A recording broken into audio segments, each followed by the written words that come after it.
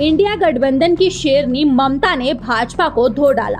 राजनीति में मचा हाहाकार। पश्चिम बंगाल की मुख्यमंत्री ममता बनर्जी ने मंगलवार को विपक्षी गठबंधन Indian National Development Inclusive Alliance India के नाम पर प्रधानमंत्री नरेंद्र मोदी के हमले के मद्देनजर उन पर कटाक्ष किया और कहा कि उनकी टिप्पणियाँ साबित करती हैं कि उन्हें इंडिया शब्द कितना पसंद है। पश्चिम बंगाल के गवर्नर सीवी आनंद बोस के साथ एक संक्षिप्त बैठक के बाद राजभवन से बाहर आते ही ममता बनर्जी मीडिया कर्मियों को संबोधित कर रही थी। उन्होंने विधानसभा के चल रहे मानसून सत्र के बारे में कहा, मैं प्रधानमंत्री को धन्यवाद देना चाहूँगी, क्योंकि उन्हें इंडिया नाम पसंद है। ऐसा लगता है कि उन्होंने इसे देश के आम नागरिकों की तरह स्वीकार कर लिया है। पश्चिम बंगाल की सीएम ने कहा कि पीएम मोदी इस नाम के बारे में जितना अधिक बात करें, नाम के प्रति उनकी पसंद उतनी ही स्पष्ट होगी।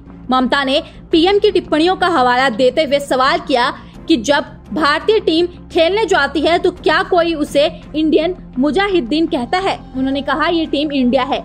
देश का नाम इंडिया है। इंडिया हमारी मातृभूमि है। मैं फिर से कह रही हूँ कि वे इस नाम पर जितना अधिक झूठ फैलाएँगे, नाम के प्रति उनकी पसंद उतनी ही स्पष्ट हो जाएगी। पीएम ने इंडिया नाम पर किया था कटाक्ष। इससे पहले मंगलवार को प्रधानमंत्री ने विपक्षी गठबंधन पर प्रहार किया और उसे इंडिया नाम का उपयोग करके देश के लोगों को गुमराह करने के उद्देश्य से की गई एक दिशाहीन पहल बताया। और इंडियन मुजाहिदीन और ईस्ट इंडिया कंपनी का भी संदर्भ दिया। पीएम मोदी ने ईस्ट इंडिया कंपनी और आतंकवादी संगठन इंडियन मुजाहिदीन के नामों का हवाला देते हुए कहा था कि केवल देश के नाम के इस्तेमाल से लोगों को गुमराह ना करे। फ़िलहाल आप इस खबर के बारे में क्या सोचते हो, समझते हैं? हमें कमेंट करके ज़रूर बताइए। न्यूज़ डेस्क ऐसी प्रिया।